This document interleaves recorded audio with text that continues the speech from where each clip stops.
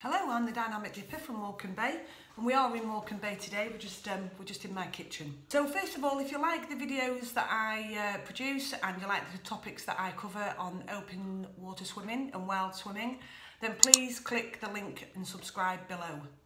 You know, I've got to be more interesting than Witch Washer 2007, who's a bloke on YouTube who uh, teaches you how to fix your washing machine. And I get the fact that he's useful, but you know, he's got 55,000 subscribers and his uh, video of remove and clean the pump coin filter um, has got 315,000 views.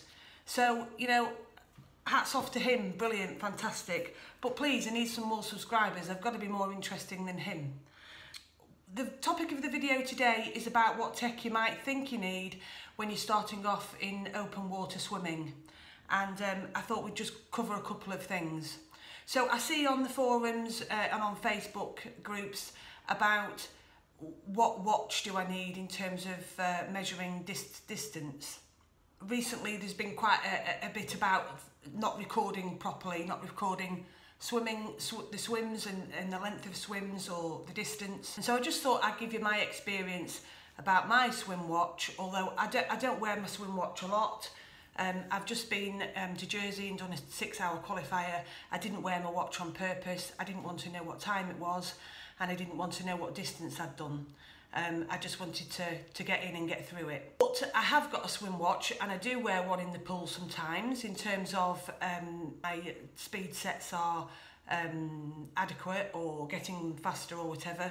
And so this is, this is my suggestion if you're starting off and you're wanting to get a watch that measures those those things okay this is a Garmin 910 XT okay it's about 10 years old. I think it was produced in 2010 2011 so it's 10 or 11 years old this watch. But it still does the job is what's important. So um, it's always been accurate. I find it very easy to use in terms of the modes and, and setting stuff up for your training.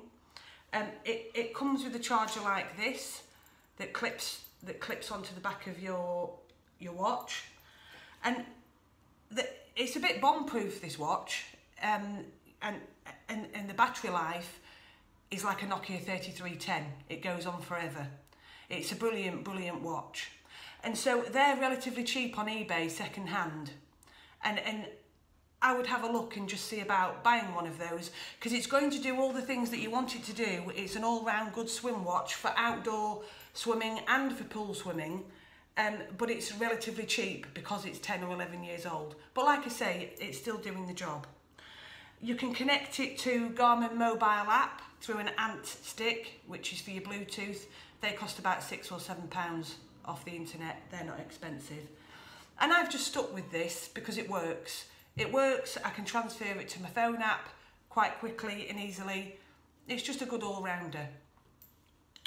You know, it's interesting to say that Garmin make things for, you know, sailing, lots of water sports, you know, lots of swimming, and, and, and actually I find it, it's the brand that that works the best. The other thing is, is that sometimes people say about how can I know what temperature it is the water in terms of um, whether it's colder or warmer than the last time they went in.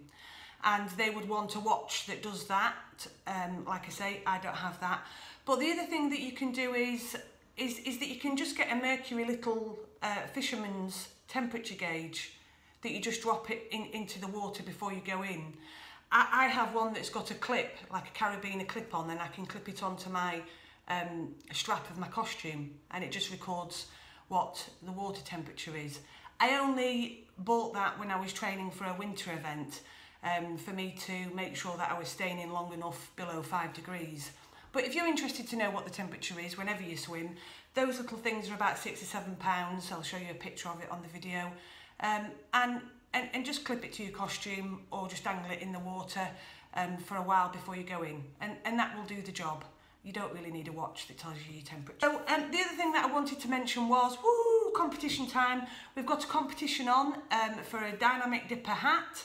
So um, I'll just put a photo in there. Um, you can you can win a dynamic dipper hat if you subscribe. and, and the name will be picked out of a hat and you can choose your own pom-pom colour because I make the pom-poms and put them on and you can choose your own pom-pom pom-pom colour. So really good hat, Dynamic Dipper hat. It's um, thin uh, lined and it's really thick and cosy and like I say, a bobble hat with your own coloured choice. What isn't to love? So if you subscribe uh, on the link below, you'll be entered into a draw for to win to win a Dynamic Dipper hat. Um, and uh, that's about it. That's all I've got to speak to you about today, really. So check out the watch, Garmin 910 XT. Okay, and and that's all you need to start swimming and knowing about your distance and your temp. Okay, bye.